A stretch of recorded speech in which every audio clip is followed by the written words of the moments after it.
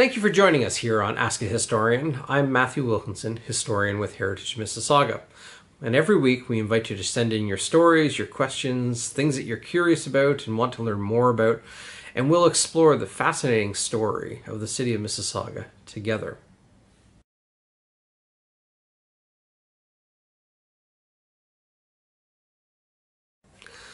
Our first question this week around uh, Lake Wabukayne and uh, what is it named for? And uh, first of all, Lake Wabukayne is a man-made lake in uh, northwestern Mississauga. In its original form as a lake, it was a cattle pond on the Cook family farm. Um, but the lake itself, uh, again, it was it was man-made. Uh, first in 1946 by by a local farmer, um, and uh, uh later through the development process, creating a uh, a water control uh, dam and a lake that's to trap runoff and help filter the water before it enters into the Credit River watershed. there is a natural creek through the area, which was the source of the the original source of water that created the lake when the when the farmer put the dam through, and that was known as Wabukayne Creek. And so Wabukayne Creek predates the lake itself. Um, modern Lake Wabukayne uh, and the surrounding park were uh, constructed in 1976 by Cadillac Fairview as part of their Erin Mills development pl- uh, Erin Mills development plan. Um, Lake Wabukayne, uh, in its size, is 1.3 hectares, um, and it's again a stormwater management pond. Although it takes advantage of, a, of a, quite a stunning um, uh, scenery, if you will, or, or landscape features, and it's built again on that cattle pond, which was result of damming uh, what was formerly known as Wabukayne Creek. Historically, the name Wabukayne is believed to come from Chief Wabaucaneen of the indigenous Mississaugas. He was one of the Mississauga uh, uh, chiefs of the Eagle Clan at the Credit River who signed Treaties 13 and 13A in 1805. Wabukayne translates as white snow.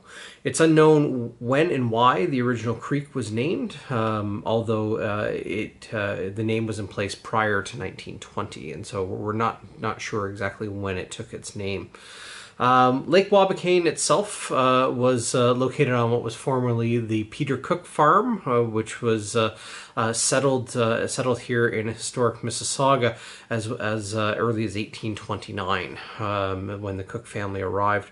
Um, and uh, so the family continued on the property for several generations, um, and uh, uh, they were involved in the surrounding area, including up in Streetsville. They were involved with the Loyal Orange Lodge um, and some of the churches in Streetsville. So quite a quite a, a rich history that is recorded on the Cook farm itself. Um, and uh, Peter's 100 acres uh, of his farm went to his youngest son, John Albert Cook, in 1889. Like his father, John Albert was also a successful farmer. Uh, in 1900, John Albert had a new farmhouse built um, not too far away from where Lake Wabukayne is today. Uh, John Albert passed away in 1937, and the farm passed to his son, Elgin Roy Cook. Um, and uh, he inherited the farm in 1942. The farm, uh, uh, some livestock on the farm, and they grew wheat, oats, uh, seed clover, barley, and then raised beef cattle as well. Um, Roy and his eldest brother Clarence Cecil uh, are the ones who built the dam across Wabukayne Creek in 1946 for the cattle pond. Um, and uh, the uh, the area itself was well known amongst the, the locals, a kind of a favorite swimming hole at times as well. Roy Cook passed away in 1964, and the family continued to live on the farm until 1976 when the property was sold and the original farmhouse and, uh, and barns were demolished. Uh, the lone remnant of the Cook time period on this property is uh, what we know today as Lake Wabukayne. Roy Drive in nearby Vista Heights is uh, named in honor of Roy Cook. So, uh, to answer your question in short, uh, Lake Wabukayne takes its name from Chief Wabaucaneen, whose name is believed to translate as white snow. Thank you very much.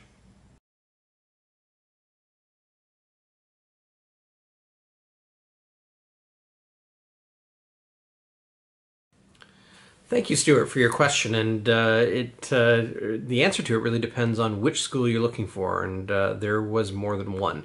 Uh, and so tracking that information down is a little bit of a challenge. So you follow the story a little bit because there there are kind of a, a number of threads here in terms of the different schools that uh, called the historic hamlet of Burnhamthorpe home. The first schoolhouse at Burnhamthorpe uh, was a one room log schoolhouse and it was built sometime prior to 1845, somewhere between 1841 and 1845, we believe. Its exact location is unknown. Um, it was not given a school number designation, that came along a little bit later on but it was believed to have been located immediately north of Burnhamthorpe Road, possibly beside the surviving uh, church, the former Burnhamthorpe Methodist Church, which is a, Romanian Orthodox church today. Um, uh, it's possible that that first schoolhouse was located somewhere in the vicinity of uh, that surviving church. We are not sure.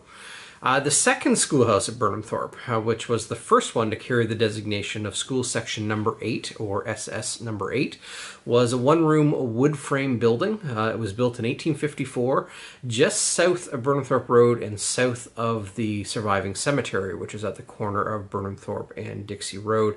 Um, this uh, building, after it had been uh, succeeded by a, another schoolhouse, this original frame one room schoolhouse later became a steam powered uh, sawmill, uh, and so it continued to serve the, the community in different capacities over time.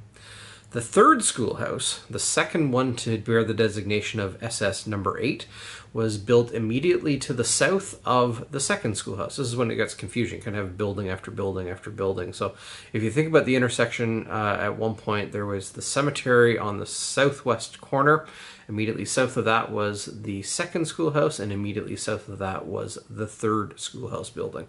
Um, and so the the uh, the third schoolhouse building uh, was built of brick, um, and it was originally a two room building. It was built in 1883.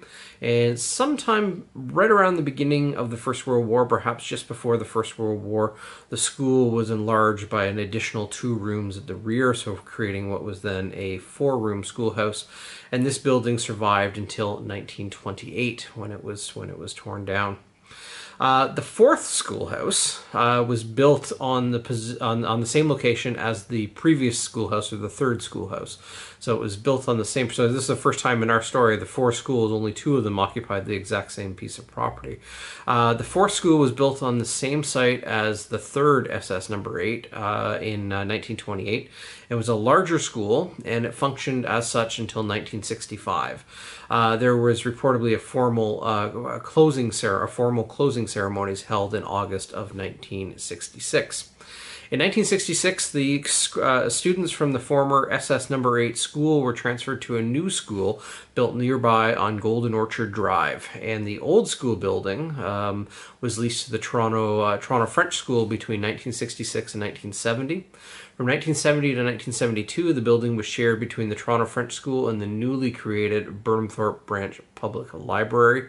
The Toronto French School left in 1972, and, in 19, and until 1974, the old schoolhouse served only as the library for the community of Burnhamthorpe. Um, and uh, it also, in 1973, it housed two overflow classrooms from the school at Golden Orchard. This building, the uh, the fourth uh, Burnhamthorpe uh, Public School and the third uh, the second school on that exact site uh, was demolished in 1974 to make way for the Burnhamthorpe Branch Library Building, which, although much altered and renovated, survives today on the southwest corner of, uh, of Burnhamthorpe and Dixie Road. So, a long history of usage on that site, uh, multiple schools, multiple historic schools located therein. We have pictures of several of the early schools, but we do not have a picture of the very first school there. That and its location again is is not exactly known. Um, so, uh, a, kind of a meandering story of schoolhouses located in the historic community of Burnhamthorpe. But thank you for the question.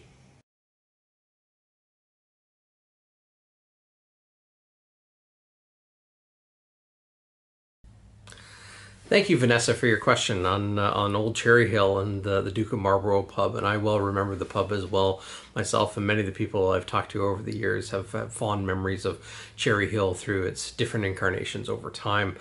Uh, but to your question on the history, uh, Cherry Hill is um, and the Silverthorne family are amongst the best documented stories of historic Mississauga. There's a great deal of information assembled, not only in the house but of the family who once lived there.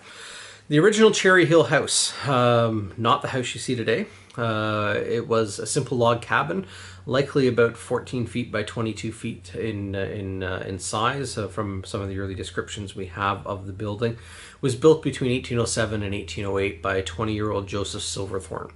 Uh, Joseph and his 15 year old bride, Jane Chisholm, uh, and her family hailed from the Oakville area, uh, had recently arrived uh, and uh, together with Joseph's parents, John and Esther Silverthorne, and Joseph's older brothers, Aaron and Thomas. Um, and they all settled nearby between kind of between Cawthra Road and the Etobicoke Creek area was where many of the Silverthorne fa- farms were located. Um, the Silverthorne family themselves had come up from New Jersey in the United States uh, in uh, the late 1790s and had brought, uh, reportedly brought cherry trees with them. Uh, and whenever the family moved or established new property, it said that the saplings or cuttings from the original cherry orchard in New Jersey were brought with them, hence the name Cherry Hill, referencing cherry trees that were planted along the laneway leading to the, uh, the, the house and barn on the property. Um, as for the Silverthorns themselves, again, Joseph, uh, together with his wife Jane, uh, they arrived in historic Mississauga in 1807 after receiving a 200 acre land grant on the north side of Dundas Street and just to the uh, the west of what is now Cawthra Road. That was their uh, their acreage. Um, and again, the, the property to the name Cherry Hill takes its uh, reference from the cherry trees that were planted along the laneway. Uh, although a main portion of Cherry Hill, as we see it today, was built around 1822, the stone or rear portion of the building is believed to be older and possibly dating between 1816 and 1817. The this building in its uh, in its combined dates, if you will, the one that survives today, replaced the earlier log cabin. Um, and again, it was believed to be built between uh, 1816 and 1822 as a larger home for Joseph and Jane's growing family. Uh, Joseph and Jane uh, were amongst the earliest settlers in historic Mississauga, and they lived in this house for well over 50 years of married life. Um, it's a fine example of a of a neoclassical structure, uh, a large, gracious home for its time period. Um, and uh, to quote one description of it, its gracious proportions and the balanced placement of the elements give the house a dignity and charm. What a lovely description that is. Uh, Joseph and uh, Joseph and Jane Silverthorne had three sons and nine daughters, one of whom died uh, in in infancy. Uh, Joseph and Jane died within months of each other in 1879 and 1880, um, and after a long, long married life together. Um, and the property was inherited by three uh, unmarried daughters uh, Janet, Helen, and Augusta. Augusta was the last uh, living daughter of that family, and she passed away in 1907 and left the property to a favorite nephew who was an actor in New York. His name was William Stanislaus Romaine Walsh. Uh, Stanislaus was an actor, again, as I, as I mentioned, but was rarely in historic Mississauga. The house fell into disrepair and was lost to the family due to unpaid taxes during the Depression. Um, the house uh, remained an occupied home uh, and uh, right up until uh, the late 1960s. Uh, fell into a state of abandonment um, at that point. Um, the house was saved by the developer SB McLaughlin, um, and uh, under the direction or under the, the understanding that this is one of the most uh, one of the oldest houses to survive in Peel County, which it is, uh, and it was worth the effort to preserve it. And so, in 1973, the house was moved, uh, put up on on uh, on on a trailer, and moved northward to make way for road widening improvements uh, in the area. And in 1979, Cherry Hill once more opened its doors uh, to the public, but this time as a restaurant. And it's had different iterations of the restaurant over time, and this is where the Duke of Marlborough plays in as the pub that was located in the basement at uh, Cherry Hill for a time. Um, there's lots of ghost stories around Cherry Hill, but that perhaps can be a, a story for another episode or perhaps something we can chat about around Halloween or so. But Cherry Hill, one of the, the uh, most uh, uh, significant heritage buildings in our community. It's also one of our earliest designations within our community under the terms of the Ontario Heritage Act. Cherry Hill was designated back in 1978.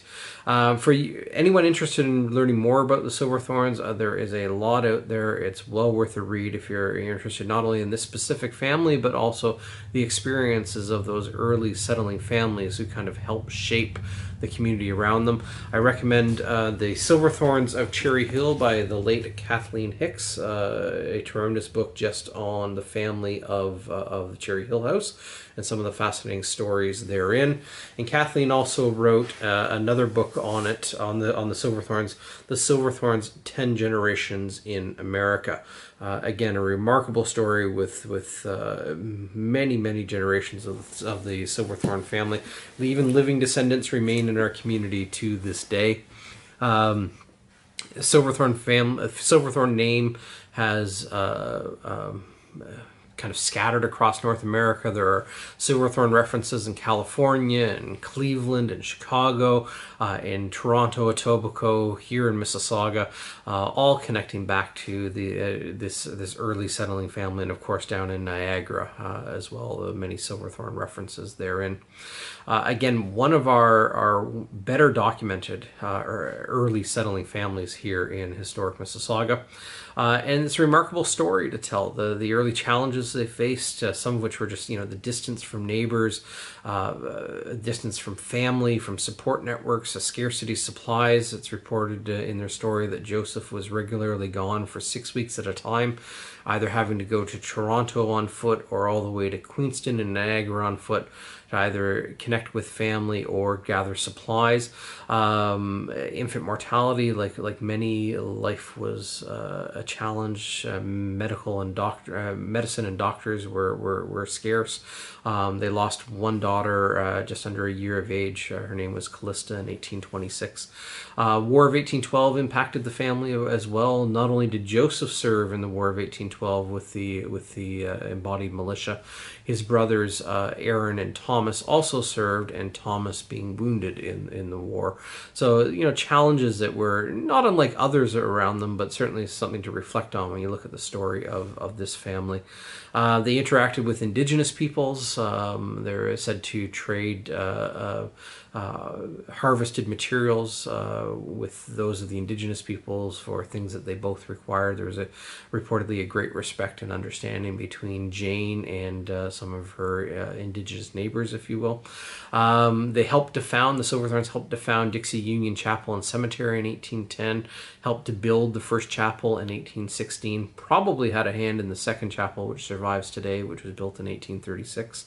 Uh, and again, the Silverthorn name found in many places, not only here locally, but uh, abroad as well. I'm always amazed by their story of sheer perseverance and the challenge that must have come in this early landscape of, of, of raising a large family. They had 12 children uh, Joanna, Catherine, Esther, uh, George, Janet, Jane, Elizabeth, Callista, who died young, Joseph William, Helen, Theodore, and Augusta. Um, but just a remarkable story, and again, for anyone looking to read more, I, I, I do recommend um, uh, the, the Silverthorns of Cherry Hill by the late Kathleen Hicks.